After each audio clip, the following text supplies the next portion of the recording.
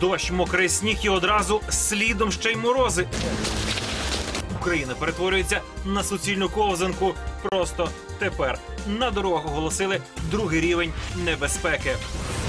Недоосвячена російськими попами. Політала зовсім трохи і впала. В сторону пошла. У Росії балістична С-300 самостійно змінила траєкторію і вибухнула просто над головами кремлівських вояків. Для людей за нелюдськими цінами. Прошу голосувати, хто за? Тепло і гаряча вода для українців знову додають у вартості щонайменше на 20%. –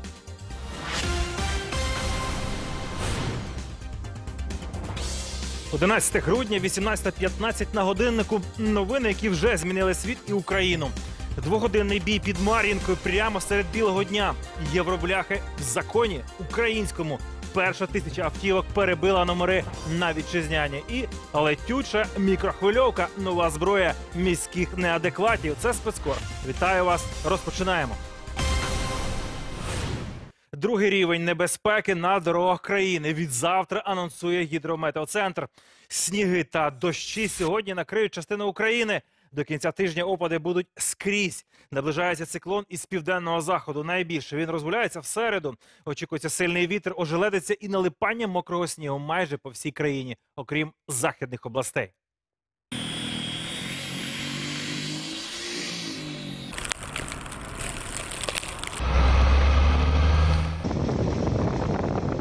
Очікуйте на половині території України вже в середу. Синоптики називають це погіршення погодних умов до 20 сантиметрів снігу. налипання мокрого снігу на дротах, деревах, горизонтальних предметах і дорогах. І пориви вітру 15-20 метрів на секунду. Зростання висоти снігового покриву від 18 до 20 сантиметрів. Це територія Київської, Черкаської, Кіровоградської областей. Віце-прем'єр, рятувальники і поліція терміново збираються на селекторну нараду з регіонами, щоб вирішити, що робити зі снігом. Втім, половині областей пощастило. Там буде дощ. Штурмове попередження в семи областях: Чернігівська, Київська, Житомирська, Черкаська, Полтавська, Кіровоградська і Миколаївська сильні сніг хуртовини, Луганська, Харківська, Донецька, Дніпропетровська, Запорізька і Херсонська. Погіршення погодних умов за рахунок е, великих опадів в вигляді дощу. Солі вистачає, техніки теж. Головний рятувальник дає наказ посипати вже сьогодні, бо завтра сніг заважатиме. Готують пункти обігріву та аварійні бригади для ремонту тепломереж і обірваних дротів. Перевізників просять обмежити їзду автобусів та фур. Торік далекобійники не дуже слухалися. Найбільші скупчення влаштували навколо Києва. Тепер посадовці переймаються місцями їх відстою на час негоди. Київській області, звичайно, треба організувати взаємодії з областями, які до неї прилягають, для того, щоб раніше спрямовувати транспорт е, в об'їзд, щоб не створювалися е, заторів на під'їздах до міста. У національній поліції обіцяють щось із фурами вирішити, а тим, кого на примусову стоянку не поставиш, спробують допомогти. Буде здійснено супровід по, по за необхідності, де буде ускладнений рух, супровід карет швидкої допомоги, спецтехніки, рятувальної служби, е, автобусів з пасажирами. За традицією найбільших проблем очікують на одеській трасі. Минулої зими там буксували тисячі фур і легковиків. Втім, уже до кінця тижня циклон послабиться, опади вщухнуть. Та сніг навряд чи розтане, бо за ним насувається і похолодання. Станіслав Фещенко, Олександр Костенников, спецкор 2+,2. Двоє українських військових від початку вівторка отримали поранення на передовій. Важкі заборонені мінськом міни дедалі частіше летять у бік наших військових.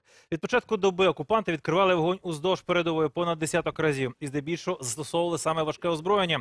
Зі 120-мм мінометів найманці обстріляли опорники українських бійців поблизу Новоолександрівки на Луганщині. Такими самими снарядами били по захисниках пісків на Донеччині у бік Березового та Невельського. Чужинці гатили з великокаліберних кулеметів. А біля Мар'їнки російські загарбники від самого ранку зав'язали інтенсивний двогодинний бій. Необычно там 15-20 минут днем, а сегодня уже порядка двух часов. И такое, стрелкотни было мало, больше такое то есть АГС. Коли нам була дана команда відкрити ответний огонь, було видно, як вони знімали наш ответ на свої мобільні телефони. Ну, Я так підозрюваю, що це все для того, щоб показати ай-яй-яй, які погані, що перві починають огонь вести. Під дих українцям і прямо під ялинку, вочевидь, як неймовірний подарунок. Нові тарифи на комунальній радості від НКРЄ. Із 1 січня у платіжках за воду і тепло люди побачать відверто космічні ціни.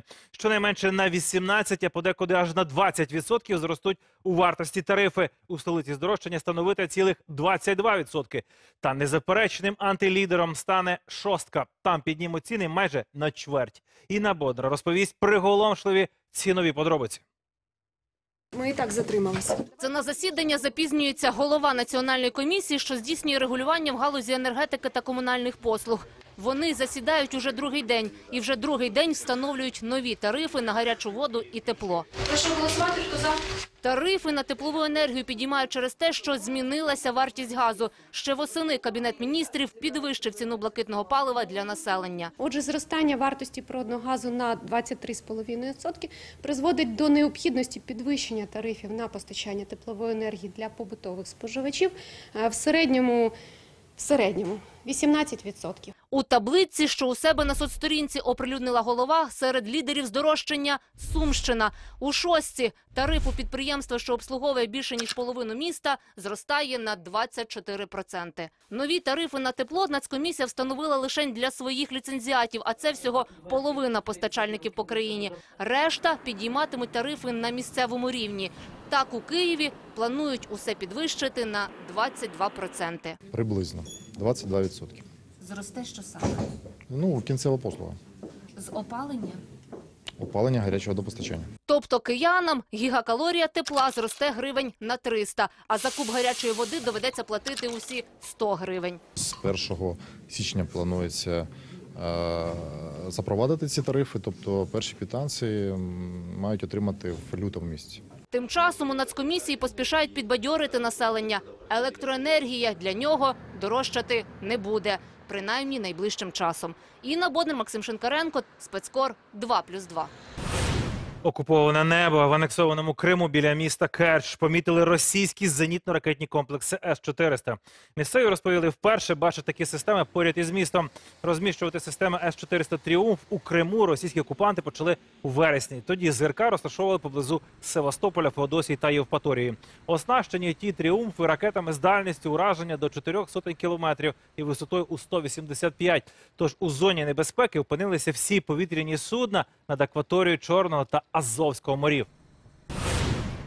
15-місячна дитина померла в Одесі від ускладнень від кору. Хлопчик щеплення від хвороби не мав. За віком його ще не встигли вакцинувати. Батьки звинувачують у трагедії медиків. Мовляв, сина заразили кором у лікарні, поклавши в одну палату з інфікованою дитиною. Медики ж твердять, діяли за інструкцією. Обидві дитини до того вже контактували з хворим на кір і ще до зустрічі між собою. А отже, і мали перебувати в одній палаті. Батьки звернулися до правоохоронних органів. В інфекційній лікарні працює поліція в Одесі. Це третя дитяча смерть від кору від початку року. Поступки президента Еммануеля Макрона протестувальникам обійдеться бюджет у Франції у близько 10 мільярдів євро. Французький президент пообіцяв підвищити заробітну платню на 100 євро і запровадити податкові пільги. Макрон оголосив Україні надзвичайний економічний стан. Його подробиці поки що не розголошують.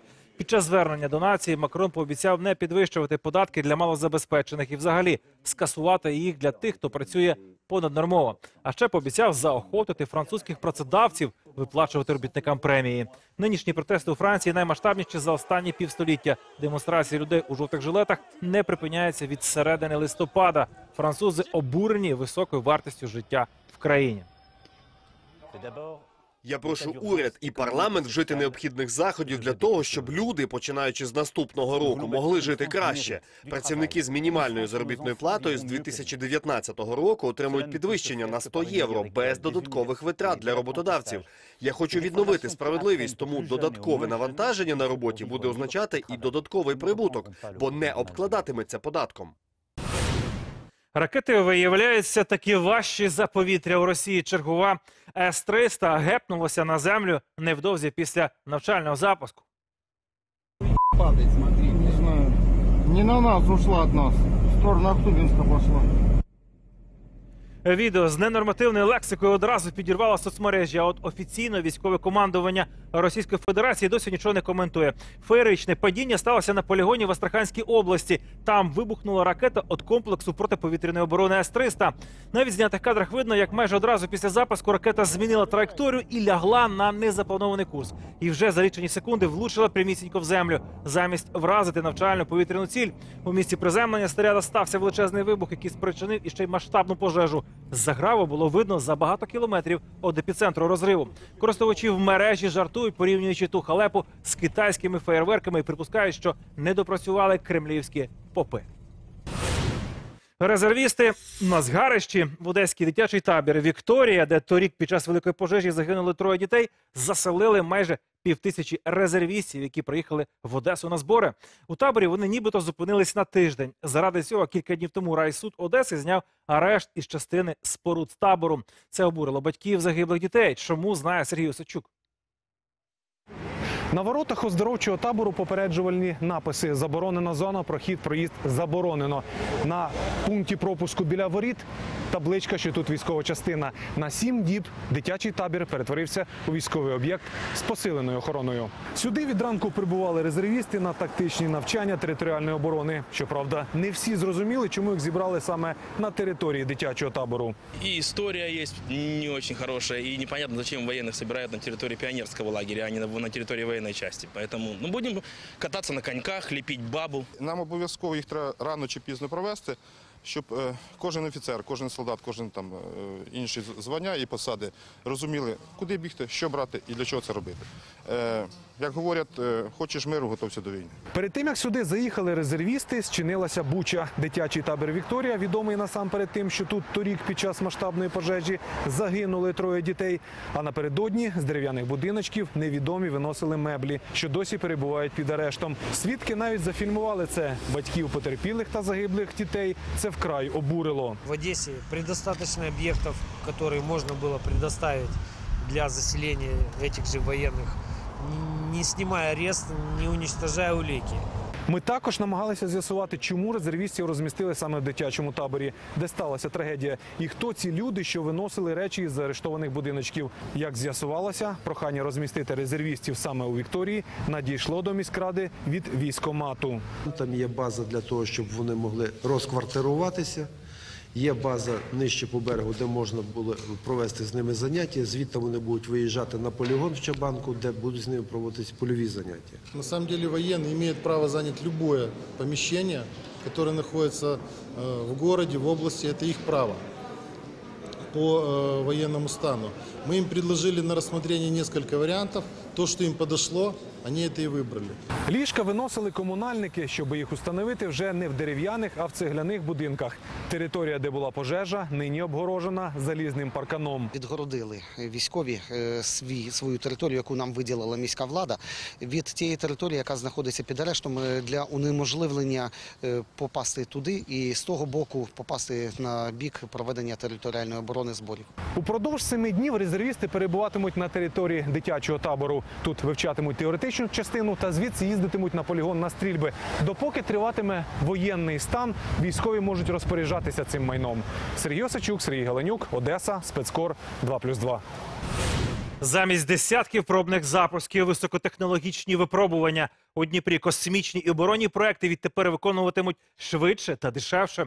У конструкторському бюро Південне створили сучасний багатофункціональний випробувальний центр, зокрема триосьовий імітатор руху в реальному часі враховує траєкторію польоту ракети.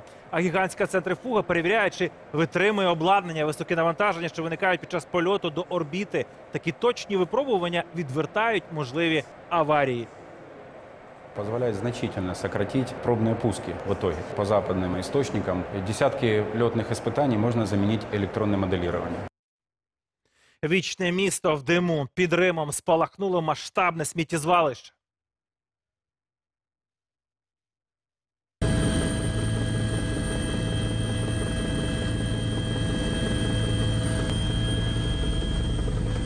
Італійську столицю миттєво оповив густий дим. Місцевих просять позачиняти двері та вікна, бо дим може бути токсичним. Тим, хто має респіраторні захворювання, взагалі не радять виходити з дому. Так само просять не випускати дітей. Гасити вогонь направили 12 пожежних команд. Причину займання поки що не встановили. Однак жителі уже непокоїть питання, куди ж тепер відвозитимуть сміття із столиці, бо на це звалище звозили 20% відходів із Рима. Де там і штазі. В архівах німецького Дрездена знайшли посвідчення, яке сумнозвісно таємна поліція НДР видала Володимиру Путіну. Фото секретного документу опублікувало видання Більд. Посвідку видали з 1 грудня 85-го року, і вона дозволяла своєму власникові безперешкодно відвідувати відділи штазі. Утім, зазначають журналісти, розкривати інформацію про роботу на радянські спецслужби Путіну було заборонено. Російський президент працював на КДБ в Дрездені з 85 по 90 роки. Тож у Кремлі припустили, що посвідчення може бути справжнім і нагадали, створена радянським союзом у німецькій демократичній республіці таємна служба штазі з КДБ таки співпрацювала. Розшукуються сімейні лікарі. Розпочалась третя хвиля підписання декларації, а сімейні лікарі закінчилися. Ті, хто набрав 1800 пацієнтів, не мають права обслуговувати більше. Міські поліклініки і сільські амбулаторії полюють на терапевтів та педіатрів. Які бонуси вони готові запропонувати молодим фахівцям? І чому за сімейних лікарів розпочалося змагання? Ірина Маркевич знає.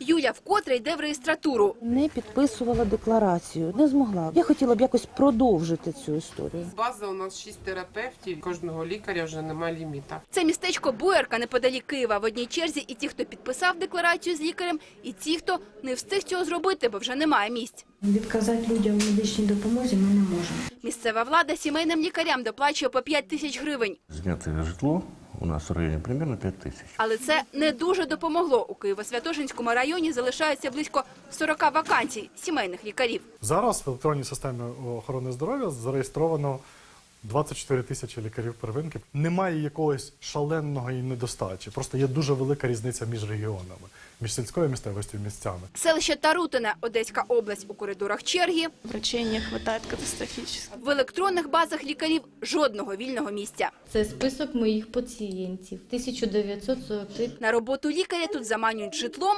знижкою на комуналку і підйомними у 100 тисяч гривень. Підйомні 100 тисяч під 3 роки відпрацювання. І житло через 5 років вони мають право приватизувати.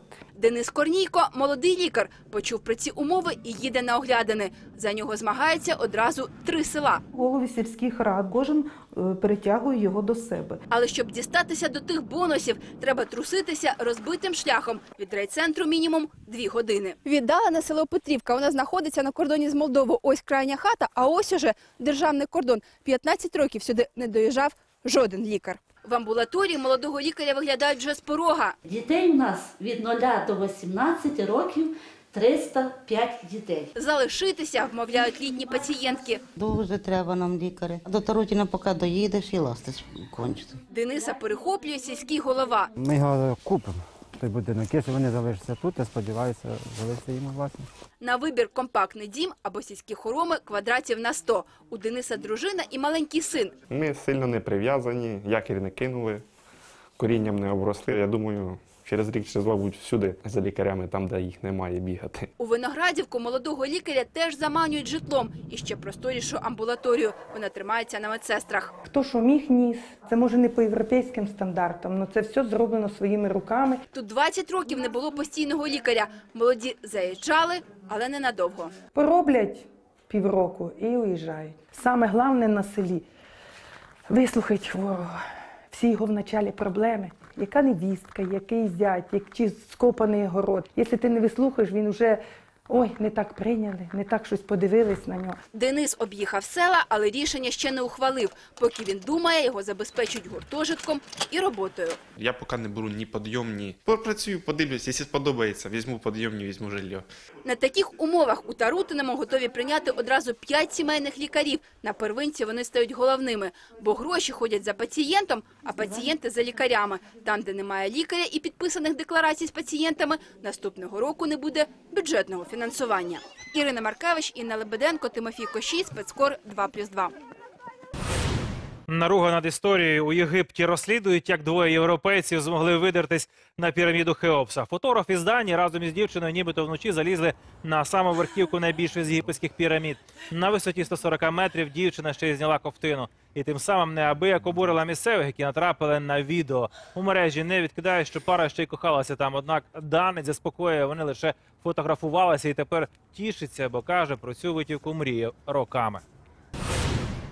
Політ мікрохвильовки з висоти 24-го поверху і лише дивом не на голови перехожим. Украй небезпечну розвагу влаштували молодаки просто в середмісті Дніпра. Давай, чувак. Это не мы, это не мы, это не мы. Когда вышла из-под контроля. Лише дивом ніхто не загинув. Хоча в той момент біля новобудови гуляла жінка з дитиною та проходив чоловік. Він згодом і знайшов у соцмережах відео, яке відзняли самі ж зухвалі молодики та виклали в мережу задля вихваляння. Чоловік уже написав заяву до поліції та провів власне розслідування. Троє юнаків та три дівчини винайняли квартиру в новобудові на добу. Перед виселенням вирішили жбурнути мікрохвильовку з висоти. Її вага щонайменше 8 кілограмів. Побутовий прилад розлетівся на друзки і пошкодив припарковане авто. Поліція встановлює особи хуліганів, що ледве не вбили перехожих. Повторила на біс 102-річна австралійка стрибнула з парашутом, щоб зібрати гроші на доброчинність. Ірен Ош офіційно визнана книгою рекордів Гіннеса як найстаріша парашутистка світу. Свій перший стрибок жінка здійснила два роки тому в тандемі з інструктором. Нині ж пролетіти над землею на швидкості понад дві сотні кілометрів за годину. Жінка вирішила задля шляхетної мети. Вона в такий спосіб складає гроші на доброчинність, зокрема на дослідження боротьби з бічним з бічним аміотрофічним склерозом, хвороби від якої померла і донька. 102-річна Ірен Оше досі водить автомобіль без окулярів, сама про себе дбає і запевняє, із задоволенням стрибне з парашутом іще раз. Оригінальні не зелені, а золоті, білі, чорні, срібні, червоні, металеві та дерев'яні. Це ялинки. Після того, як перша леді США Меланія Трамп поставила в Білому домі червоні ялинки, у світі почався тренд на незвичайні кольори новорічних дерев. Наталка Гончарова проінспектувала столичні магазини і покаже, які незвичайні дерева нині купують українці. Найпопулярніша висота е, десь 3,40, 2,70. У цьому магазині, попри ціни від 10 тисяч гривень і ще три тижні до нового року, ялинок залишилося небагато. Після зелених найпопулярніша біла. Це італійська ялинка. Скільки вона коштує? Зараз я вам скажу 38 500. Гірлянда вмонтована, але іграшки у вартість не входять. Вона не потребує настільки багато іграшок, ніж е, просто зелена красуня. Думаю, около полутора тысяч стоит эта ель. У ще одному недешевому магазині столиці, наслідуючи американські тренди, що започаткувала Меланія Трамп у Білому домі, продають червоні деревця. Действительно, кстати, американская елка, и она э, винтажная. Сознательно она не потому, что вот она такая металлизированная, потому что лучше не получилось. Ее никто не старался сделать более натуральной. Разом з ними сріблясті, просто залізні каркаси і навіть берези замість ялинок. Втім, топом продажів залишаються зелені, які не відрізнити від справжніх. На сегодня, наверное, десяток э, коллекций ели, и они каждый имитирует э, какой-то биологический вид э, вой, э, э, ели. Запах справжньої ялинки не проблема. Вы поджигаете свечу, которая создает романтическую обстановку в комнате, и параллельно вы получаете ароматы натуральной ели. За зеленими купують засніжені та білі. Сама ель стоит 15,5 тысяч такая. Магазини з лояльнішими цінами, розуміючи моду на білі ялинки, теж не розгубилися. Купують китайські звичайні і додають снігу самі. Ми намотуємо гірлянди. На кожну ялиночку від 500 до 1000 лампочок іде. Зверху снігом покриваємо і глітером блискучим. Тут запевняють, люди хочуть не оригінальності, а снігу і блиску. Це снігу у нас трошечки мало випадає, а у нас всі в снігу. Спеціальним апаратом зробити зелену і білу неважко. Хвилин 10-20, поки напилиться снігом, але найбільше займає час лампочки. Велику ялинку людина цілий день мотати лампочки. Такі дерева коштують від тисячі гривень. Ось ця разом з прикрасами, як елітна без них. 18 тисяч 550 гривень. Наталя Гончарова, Геннадій Шульга, Вадим Литвин, спецкор 2+,2. Дівчачий гріх гральний. Монахині просадили півмільйона у Вегасі і сяючи НЛО над Мексикою. Зафільмували свідки, і ви побачите це самі. Не перемикайтеся. уже тисячну українізували. Видали мені талончик, я готовий йти до брокера, розмитнювати. Євробляхи поступово, але впевнено зникають з українських доріг. Хтось кидає просто неба, а хтось розмитнює. Півмільйона зелених на подорожі і гральний гріх. У Сполучених Штатах пара монахинь тринькали гроші католицької школи. Сотні панцерників і літаків, тисячі гармат і десятки тисяч вояків російських навпроти України уздовж нашого кордону від півночі і до півдні окупованого Криму. Росія зібрала свою армаду 90 тисяч військовослужбовців і найманців на поготові 8 сотень танків, бойові броньовані машини, понад півтори тисячі ствольної та ракетної артилерії. На північно-східному Донецькому і Кримському напрямках розміщені щонайменше 200 літаків та вертольотів. А от на підконтрольних терористам територіях Донецької та Луганської областей авіація не дислокується. Існує загроза із моря. Шість підводних човнів, близько 40 бойових кораблів і катерів Москва зосередила в Чорному та Азовському морях. Якщо це е, наступальне озброєння в наявності, то воно може бути використано в будь-який момент. А коли саме момент, це залежить від якогось політичної доцільності, і це вирішується на рівні вищого військово-політичного керівництва. Зручний момент, щоб загадати бажання у Мексиці, зафільмували, як небом промчав яскравий метеор.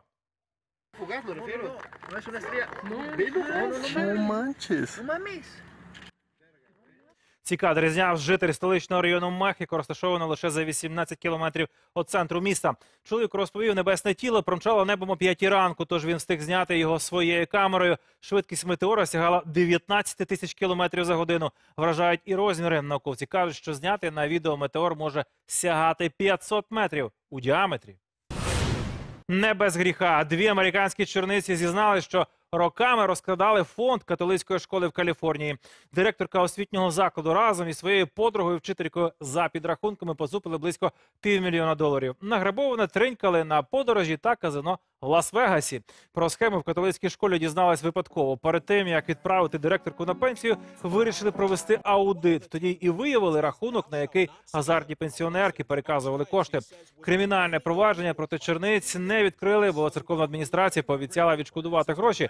Після зізнання обидві благали про прощення.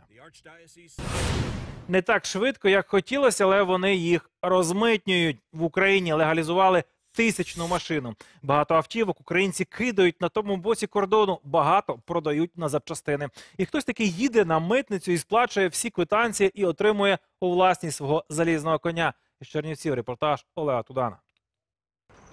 Місця у черзі на Чернівецькій митниці люди займаючи затемне стоять до самого вечора. Деяким доводиться приїздити сюди кілька днів поспіль.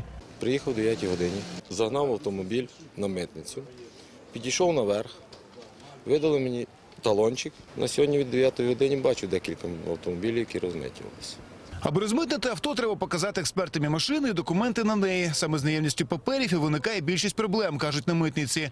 За два тижні дії нового закону в Україні розмитнили тисячу авто на єврономерах. Ювілейним став семирічний Нісан, який оформили у Чернівцях. Власник сплатив за нього 80 тисяч гривень, з них 8 штрафу. Найбільше авто розмитнюють на Волині та Буковині. Тут оформлюють по кілька десятків машин на день. Это порядка 35 в среднем. Я думаю, что дело справляется с этим и справится в дальнейшем. Будет нормально, будет порядок. Проте на складність процедури водії почали скаржитися вже з перших днів дії нового закону. Я два дні чекав брокерів. Зранку до вечора, не відходя від двох метрів від е, стола. Не ївши, думав, що вже впаду.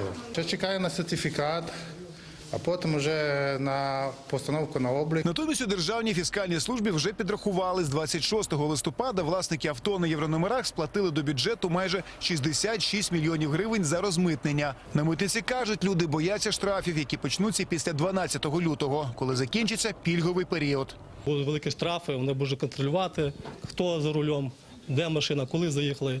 І власне людям буде просто невигідно на цих машинах їздити, оскільки штрафи будуть значно дорожчі, чим за- сама ця машина коштує. Оскільки люди не розходяться навіть пізно увечері, Чернівецька митниця перейшла на посилений режим роботи. Тут же другий тиждень працюють без вихідних і не відкидають, що розмитнювати авто доведеться навіть під час свят. Олег Тудан, Олександр Губін, Чернівці, спецкор 2+,2. І наостанок мисливці на динозаврів у Торонто відкривають одну з найочікуваніших виставок. Людям демонструють тих, хто на планеті жив іще задовго до них. Уявіть, головному експонату 76 мільйонів років.